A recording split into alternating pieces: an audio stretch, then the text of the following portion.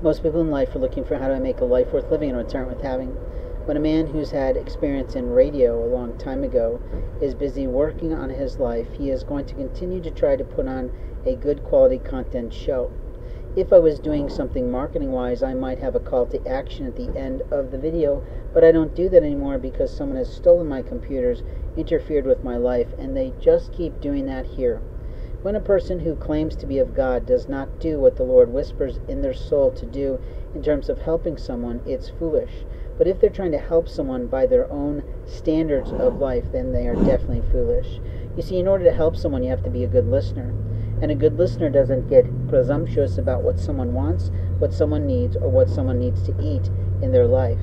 A foolish person does that all the time, and they do that for a couple reasons.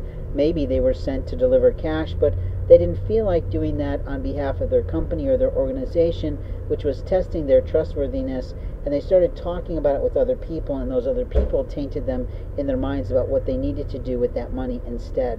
So they decide to provide a paltry piece of food to someone that instead of providing them the cash.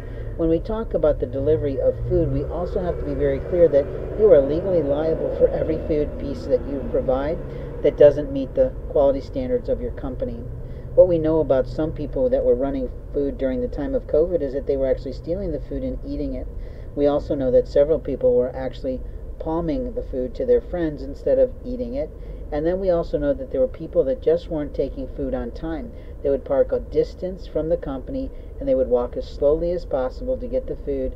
They'd put the food back in their car, not even any type of cooler or heating bag, and they literally would ruin the food quality on the way to deliver it.